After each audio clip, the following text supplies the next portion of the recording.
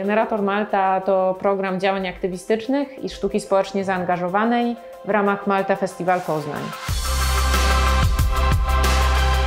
W tym roku w programie znalazło się ponad 80 wydarzeń w 30 lokalizacjach na terenie całego Poznania. Generator to dla wielu osób przestrzeń Placu Wolności, która na kilka dni zamienia się w maltańskie centrum dowodzenia. I faktycznie nie można jej odmówić sprawczości. Spotykamy ze sobą trudne tematy i aktywności dające bezpieczeństwo oraz poczucie bliskości młodych i starszych, odbiorców i twórczynie. Najważniejsze dla nas to generowanie przestrzeni do rozmów i budowania relacji.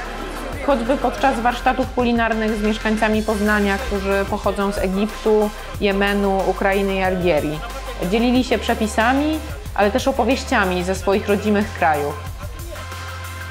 Taka okazja nadarzyła się też e, podczas poznańskiej garażówki na pomoc organizacji działającej w Turcji na rzecz dzieci doświadczonych przez wojnę, Kids Paradise. Dzięki naprawdę dużemu zaangażowaniu poznaniaków i poznanianek zebraliśmy ponad 23 tysiące złotych i pobiliśmy kolejny rekord.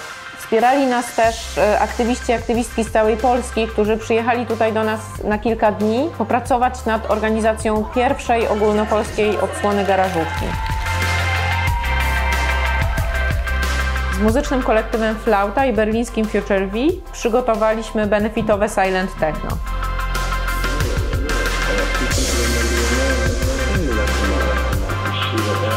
Oddolne inicjatywy licealistek i licealistów zaprosiliśmy do stworzenia pokojowego narzędziownika. Głos młodych wybrzmiał w różnych częściach miasta podczas koncertów, debat, performance'ów, warsztatów i pokazów naukowych. Młodzi uczestnicy warsztatów Don Guralesco, Bąka, Karoliny Czarneckiej Stereo 48 poprzez rap, song i breakdance nawoływali do odrabiania zadania domowego spokoju. Chęć okazywania sobie miłości i wrażliwości w przestrzeni publicznej zagnała nas w objęcia Army of Love. Ich proste ćwiczenia oddychania, dotyku i doświadczenia bliskości wzmocniły wszystkie uczestniczące osoby tak jak białe flagi powiewające z okien opuszczonego budynku przy placu.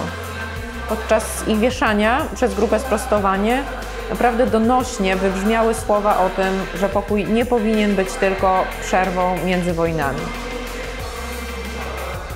Takiej refleksji wyszło też jedno z działań na Stadeli, gdzie Marta Jalowska uruchomiła dzwon pokoju i przyjaźni między istotami.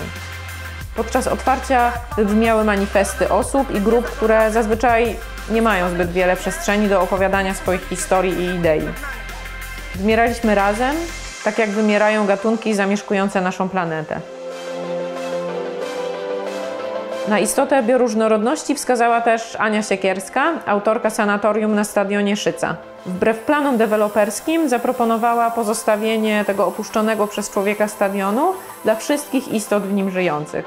Dyskutowaliśmy tam o tym, jak rzekome nieużytki stanowią ważny element miejskiego ekosystemu i jak możemy o nie zadbać, także w formie ochrony prawnej. Po raz kolejny zdobywaliśmy szczyty miasta i koncertowaliśmy zarówno na ogródkach, jak i między blokami.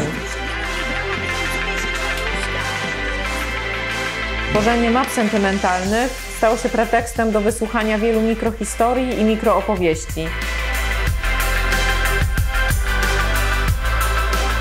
I te mniejsze narracje, które mają okazję wybrzmieć wewnątrz wielkiego festiwalu, nadal interesują nas najbardziej.